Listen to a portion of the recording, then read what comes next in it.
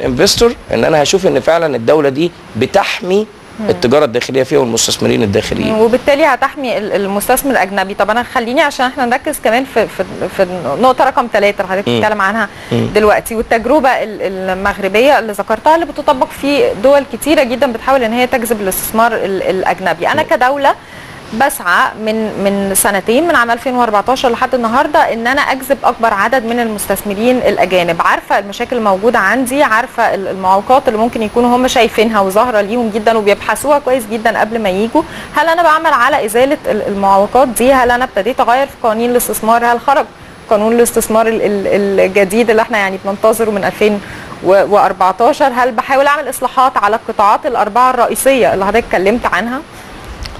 تشوفي حضرتك الموضوع هتاخديه من آه، من من من محورين أساسيين. زي ما حضرتك اتفضلتي إن هل قانون الاستثمار خرج اللي أنت منتظراه وإحنا منتظرينه من 2014 هو لسه لم يخرج بعد؟ آه، لما اتعمل المؤتمر الاقتصادي اتعمل المؤت- المؤتمر الاقتصادي آه، وكان الطموح فيه إن أنت تعود مصر للبوصلة الاستثمارية. وأنا شاركت في في أكتر من مؤتمر داعم للمؤتمر الاقتصادي وفي أكتر من لقاء تلفزيوني.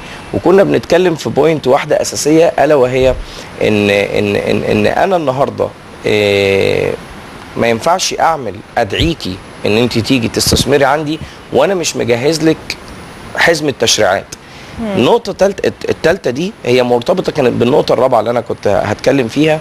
ألا وهي ودي أهم نقطة موجودة للمستثمر الأجنبي أن تحترم الدولة تعاقداتها وتشريعاتها.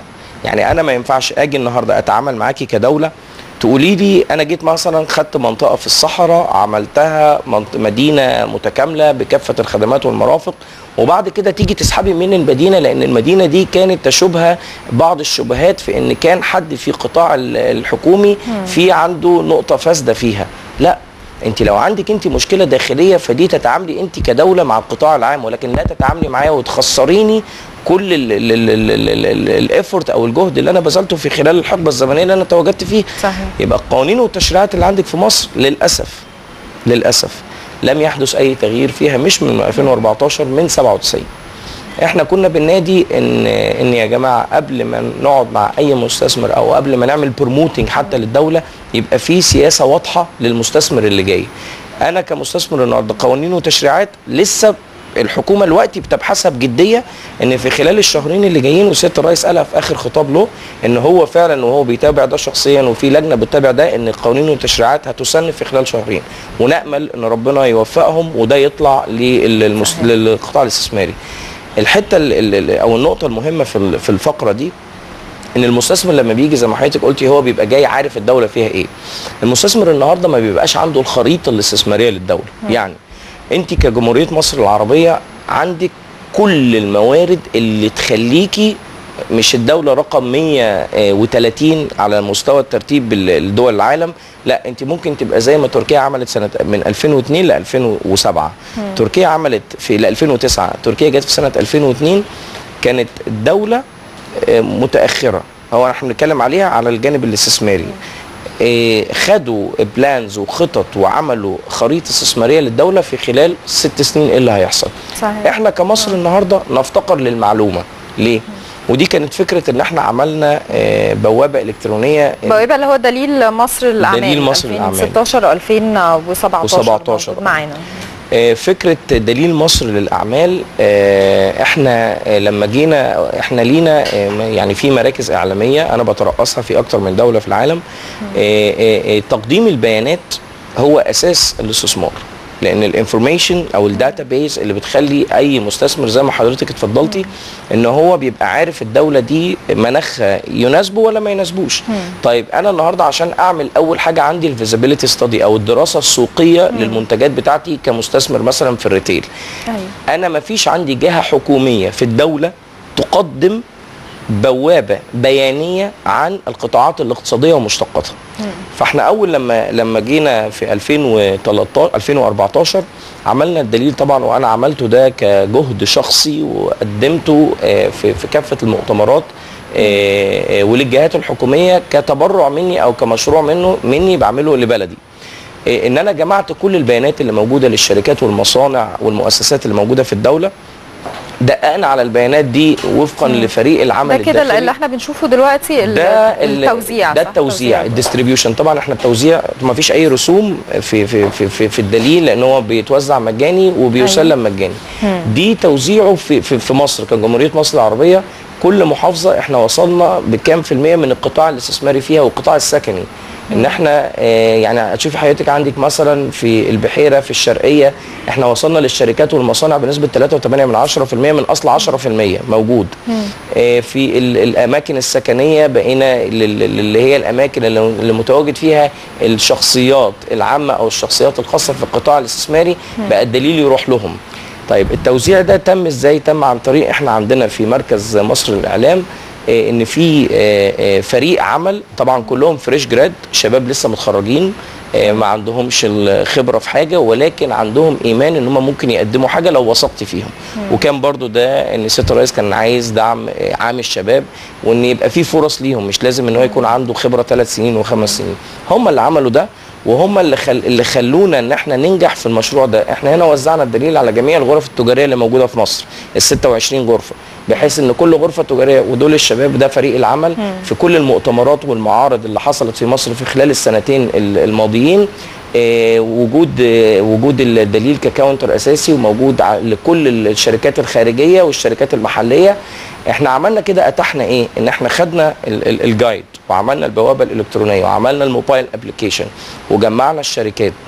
حطينا الشركات بتقسيمة القطاع ومشتقاته على الالفا باين إن أنا لو عندي القطاع الصناعي ده في قيم مشتق للقطاع الصناعي. القطاع العقاري فيه قيم مشتق. يعني إيه مشتق؟ يعني القطاع القطاع الصناعي في الصناعات ال petrochemical في الصناعات الكيميائية في الغاز والنفط.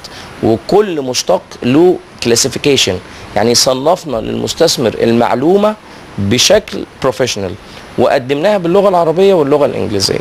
بعد ما عملنا كده ووزعنا ده كله داخل مصر وبعد ما عملنا ال expandation lines بتاعتنا داخل ال conferences وال events اللي موجودة طلعنا بره مصر عن طريق عن طريق جمعيات رجال الأعمال اللي فيها joint venture مع مصر. look like جمعية رجال الأعمال مثلا الصينية المصرية الإماراتية المصرية.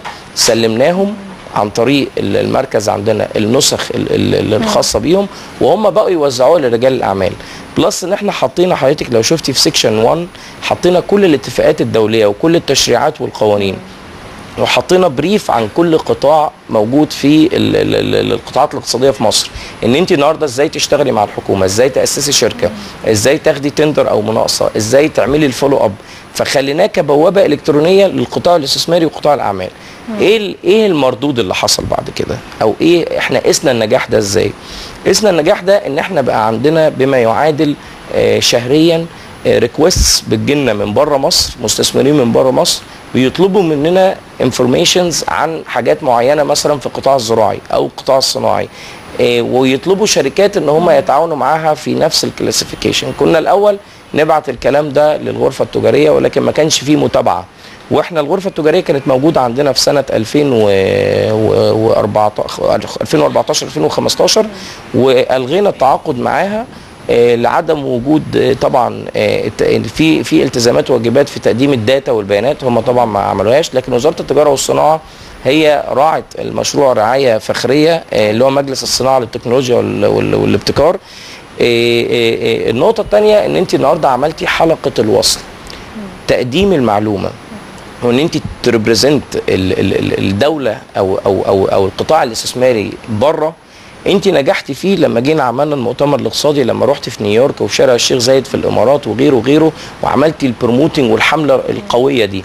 وبعد كده توقفتي قطعتي صلة التواصل بينك انت كدولة وبين الاستثمار وبين المستثمر الخارجي. على مدار ال- العامين اللي فاتوا العامين اللي بس فاتوا هنلاقي ال- طبعاً. المعلومات معظمها موجود, في موجود، البديل آه. وحضرتك بتقول إن هو متأكد إنه موجود في جميع الغرف ال- التجارية التجارية في. وموجود حتى على ال- على الإنترنت وعلى السوشيال ميديا. يعني إحنا بنتمنى لو هو هدف من أهداف الد- الدولة وأولوية في الفترة اللي جاية إن إحنا نقدر نجذب مستثمرين أجانب وأعداد كبيرة من المستثمرين الأجانب لمصر إن إحنا نراعي كل النقاط اللي إحنا اتكلمنا عنها ال- ال- النهارده في الحلقة. أنا بشكرك جدا.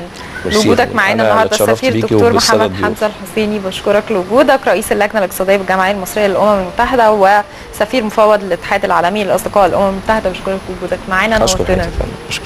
مشاهدينا لسه مستمرين معاكم في فقراتنا في نهارك سعيد بعد الفاصل اللي جاي. استنوا